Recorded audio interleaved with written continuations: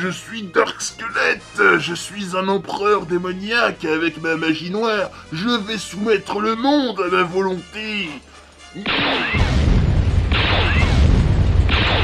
Ah Ton règne de terreur est fini, Dark Skelette. Au nom de l'amitié, je vais te vaincre. De prétentieux, tu n'as pas le dixième de la puissance nécessaire pour me vaincre. Meurs Ah, ah.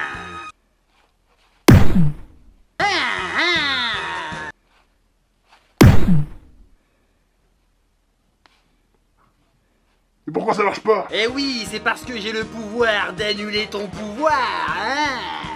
Comment? Ouais, et si en plus je te touche rien qu'une fois avec mon épée, tu as perdu, tel est mon pouvoir. Et en plus, j'ai une voix vachement agaçante, hein. Mais, mais, mais attends, attends, attends, c'est pas un peu de la triche ton scénar là? Un héros de shonen qui annule les pouvoirs de tous les méchants là? Mais c'est super cheaté comme truc. Ah ouais, oh, oh, oh. C'est plus ou moins le scénar de Black Clover et personne n'a jamais rien dit, hein. Ok?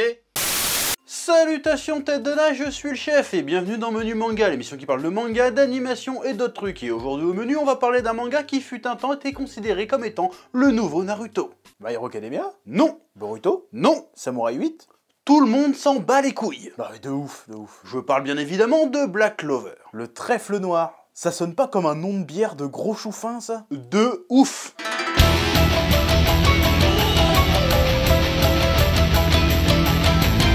Black Clover est un manga shonen écrit et dessiné par Yuki Tabata, prépublié depuis février 2015 dans le Weekly Shonen Jump de la Shueisha. En France, c'est publié aux éditions Kazé. Pour info, il s'agit de la seconde série de Tabata à être publiée dans le Jump, la première étant Hungry Joker qui ne dura que 3 petits tomes avant d'être annulé. Black Clover compte actuellement 31 tomes et a connu une adaptation animée de 170 épisodes par le studio Pierrot, qui ont aussi fait les séries Naruto et Bleach entre autres. En France, l'anime est dispo en intégralité sur Crunchyroll. Mais là, tu te demandes de quoi ça parle? Eh ben, je vais te le dire.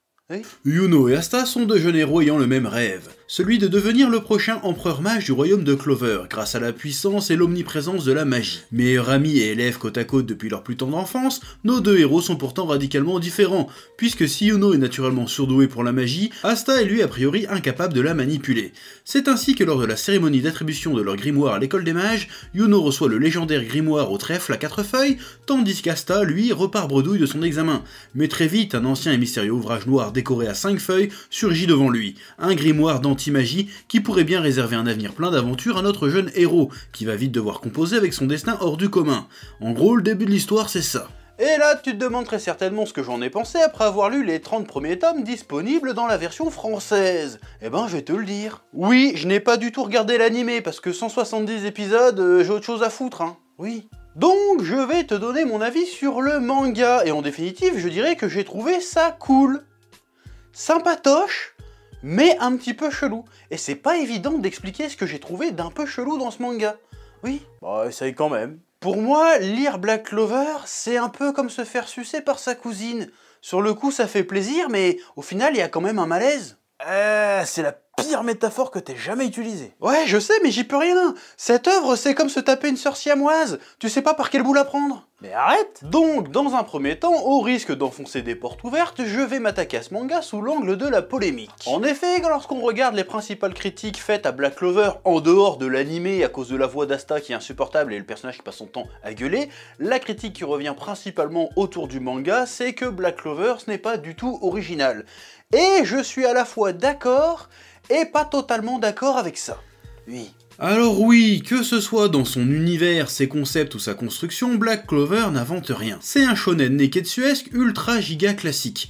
Tu peux prendre chaque putain d'idée, d'événement ou de personnage de ce manga et voir que ça a déjà été fait ailleurs et très souvent en mieux. On va dresser une petite liste non exhaustive. Déjà, le point de départ de l'histoire. Asta le cancre, que la orphelin sans talent, qui a pour rival un grand brun ténébreux beau gosse hyper talentueux, qui réussit tout sans transpirer et qui attire toutes les meufs, et qui rêve d'atteindre le rang suprême pour prouver sa valeur au monde. Un, voilà, bon, pour le coup, la rivalité Asta-Yuno est plutôt saine, c'est-à-dire qu'ils se tirent pas à la bourre, ils sont, pas, ils sont en compétition, mais ils sont pas ennemis, ils s'affrontent pas directement, ils s'encouragent, se donnent des coups de main, ils s'entraident un petit peu à évoluer dans ce monde euh, difficile, donc pour le coup, ça c'est plutôt original, oui. Il évolue dans des guildes de magiciens, Asta atterrit dans une guilde à la réputation de Cassos dont le quartier général est un capharnaüm et dont chaque membre est un gros taré de la tête. Avec une mascotte, une magicienne nudiste et plusieurs membres trop balèzes qui sont là depuis le début mais qui apparaissent seulement quand le scénario a besoin d'eux.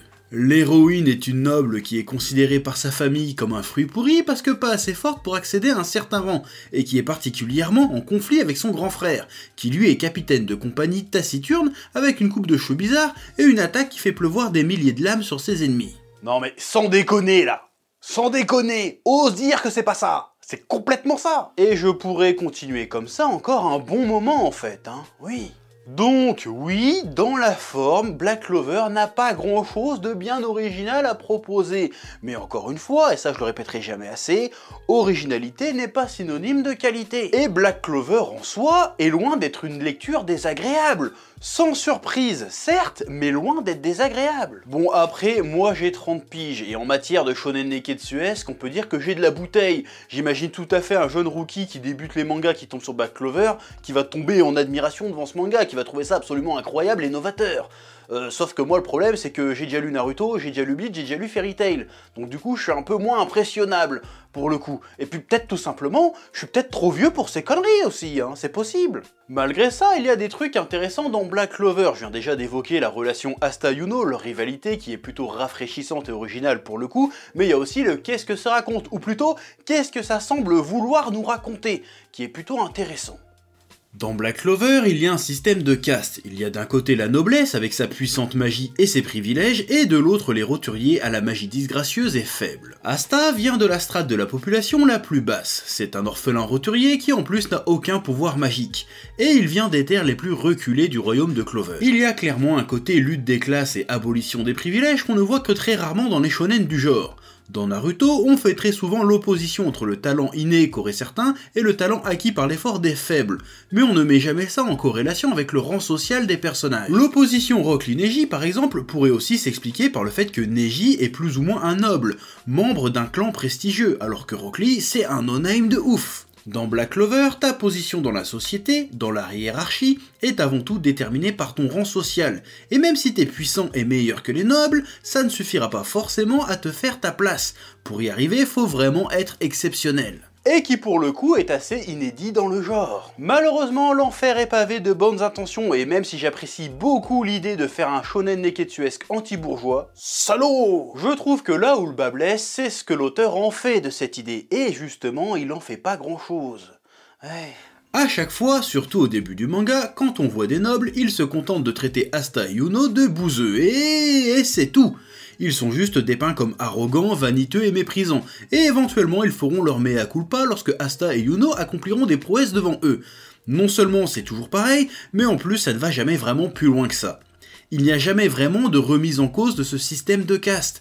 Et même, plus le manga avance, plus l'univers appuie sur la notion de classement et de rang, pour signifier la puissance. Et quand le point de départ de ton histoire, c'est un mec qui veut arriver au sommet de la pyramide pour abolir les privilèges, je trouve ça un poil paradoxal. Si encore Asta à chaque étape se heurtait à un nouveau plafond de verre qui lui ferait réaliser qu'il souhaite abolir un système tentaculaire, qui trouvera toujours un moyen de rajouter des échelons pour t'empêcher de les rattraper, je dirais ok, ce serait super intéressant. Mais là, il ne s'agit pas de ça. Très vite dans le manga, le côté social de l'univers bah, ne traite plus vraiment de social finalement. Ça devient juste qu'une banale course à la puissance. Ce qui m'amène au point le plus problématique du manga. Après d'intenses réflexions, j'ai fini par mettre le doigt sur ce qui me dérange dans l'écriture de ce manga. Et ça va pas être très simple d'expliquer le problème. Oui, et même si jamais je parviens à te l'expliquer, je serais incapable de dire si c'est une volonté de la part de Tabata, si c'est intentionnel de sa part ou non. Donc dans le doute, je vais quand même t'expliquer. La majorité des gens ont tendance à considérer Asta comme étant un ersatz de Naruto, une pâle copie, une version Wish. Et je pense que c'est totalement faux. Je dirais même plus loin, je pense qu'Asta est en réalité beaucoup plus proche de Luffy dans One Piece. Ok, à partir de maintenant, les commentaires sous cette vidéo vont devenir incroyables. D'ailleurs, mais incroyables dans les commentaires pour le référencement. Oui, je sais ce que tu te dis. Tu te dis sans doute, chef, il y a 5 minutes, même pas, t'as dit que l'univers il pompait tout sur Naruto, euh, là tu nous parles de One Piece. Écoute bien, jeune mongol, j'ai dit justement l'univers et les concepts étaient pompés de Naruto. Et c'est justement là le problème. Monkey D. Luffy qui évolue dans l'univers de Naruto, c'est hyper chelou. Et là je vois bien que tu comprends pas où je veux en venir, mais je vais t'expliquer. On va parler de Luffy et de Naruto. En effet, il existe au moins deux façons d'écrire un héros de shonen neketsuesque. Soit tu l'écris comme un Luffy, soit tu l'écris comme un Naruto. Luffy, c'est ce qu'on appelle un flat character arc, c'est-à-dire que dans One Piece, Luffy a tout le temps raison. Il évolue, il apprend, mais c'est surtout le monde autour de lui qui change. Naruto, c'est plutôt un ascending caractère arc, c'est-à-dire que Naruto apprend, évolue, change au cours de l'histoire. Il ne perd jamais de vue son objectif et finit par changer le monde autour de lui après avoir réussi à changer et s'améliorer lui-même. C'est intéressant parce que Naruto évolue dans un monde complexe, plein de secrets et dont il ignore tout. Un monde très hiérarchisé, très cloisonné. Il doit souvent confronter sa vision du monde à la réalité de ce qu'il est. Il doit confronter ses rêves et ses ambitions avec ses capacités réelles. Naruto veut faire partie d'un système et il doit grimper la hiérarchie de ce système pour atteindre son but. Naruto veut être reconnu par le monde, prouver sa valeur au monde. Luffy, il n'a rien à prouver, il est contre le système, il ne reconnaît pas de hiérarchie, ni le moindre pouvoir. C'est un électron libre absolument convaincu que sa vision du monde est la bonne. Jamais il doute, jamais il ne se remet en question. Asta, jamais il doute, jamais il ne se remet en question ou essaye de mieux comprendre le monde qui l'entoure. Il débarque et impose son style. Il n'a quasiment jamais de moment d'introspection, on ne le voit jamais s'entraîner ni rien. Il débarque, dit qu'il va repousser ses limites, les repousse et c'est bon. C'est plus un Luffy ou un Goku, à la limite, qu'un Naruto. Et a priori, ça pose pas de problème. Tu prends le personnage comme ça tout seul, que ce soit un Luffy ou un Goku si tu préfères, ça pose aucun problème qu'il soit plus un Luffy ou un Goku qu'un Naruto. Maintenant, imagine Luffy qui veut devenir Okage. Ouais, ce serait cool en fait. Mais ce serait un peu chelou en même temps. Un peu comme... euh, Se faire sucer par sa cousine. Eh oui. Ce serait stylé de voir Luffy Okage, mais ça n'aurait aucun sens vis-à-vis du personnage. Asta évolue dans un monde à la Naruto. Le perso ne recherche a priori absolument pas la gloire ou la reconnaissance, et pourtant tout dans ses actions montre le contraire. Soit t'es un électron libre qui emmerde le système, soit tu cherches à être reconnu par ce système. Les deux en même temps, ça n'a a priori aucun sens. Donc Tabata, soit tu écris un Luffy, soit tu écris un Naruto. Il faut choisir, bordel. Mais admettons que Tabata ait réellement voulu écrire un ersatz de Naruto. Eh ben, ce serait un très mauvais Naruto. Parce que Naruto, il échoue, il se trompe, il se remet en question, il est confronté à de véritables difficultés qui le poussent à se remettre en question, à grandir et s'améliorer. Il affronte des événements qui le forcent à voir le monde autrement. Asta, à partir du moment où il a son épée d'anti-magie, il est surchité de ouf. Il n'échoue jamais, semble ne rien apprendre. La prémisse de l'histoire, c'est qu'Asta, en plus d'être un roturier, à la base n'a aucune magie. On laisse entendre que pour lui, le chemin va être long et semé d'embûches. Mais au final, c'est tout le contraire. Il gagne le respect de ses pairs ultra facilement, vu que son pouvoir devient la clé de voûte de quasiment toutes les stratégies, et des victoires face aux méchants. Chaque fois qu'un mage ou un démon cheaté se pointe, le seul truc qui peut les atteindre, c'est l'anti-magie. C'est pas un handicap ça, c'est un cheat code. Oui. Et même, rien que socialement, il ne rencontre quasiment pas de barrière. Ok, il y a 3-4 nobles qui se foutent de sa gueule au début, mais trois chapitres plus tard, ils viennent s'excuser parce qu'il aura sauvé la mise. Je veux dire, elle est où? Il n'y a pas ce sentiment de monter en puissance face à l'adversité. Elle est où l'adversité d'ailleurs? Le personnage d'Asta, selon moi, ne fonctionne pas avec cet univers et avec ce que le manga semble vouloir nous raconter. Alors c'est bien beau, j'ai bien compris que le délire c'était ouais, faut croire en ses rêves et repousser ses limites. C'est très bien, mais il faut quand même aller chercher à aller plus loin que ça. Oui. Sinon, un autre truc qui me dérange dans ce manga, c'est la surabondance de combats.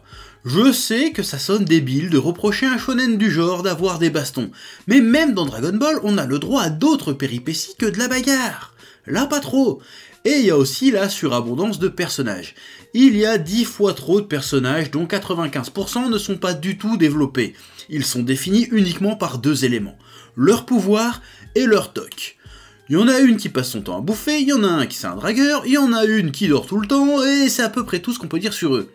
Et quand ça essaye de creuser un peu le background, le background est toujours plus ou moins le même. C'est qu'à un moment donné, les mecs ont été soit rejetés pour ce qu'ils sont, soit sous-estimés.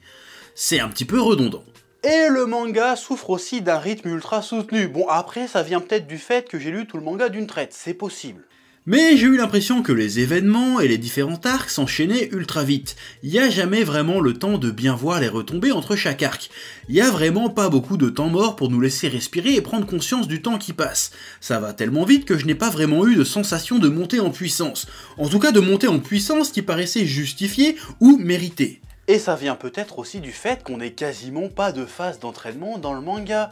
La plupart du temps, les power-up arrivent parce qu'il y a un choc émotionnel, du coup il y a une nouvelle page qui s'ajoute au grimoire.